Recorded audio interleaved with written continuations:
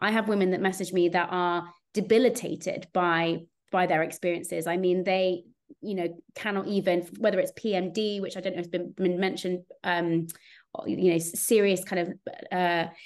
emotional and kind of um, challenging mental health issues around their cycle or whether it's the pain whether it's endo you know it's just it, it, it feels like it's something that's kind of just written off because women have periods and therefore we should just learn to deal with the pain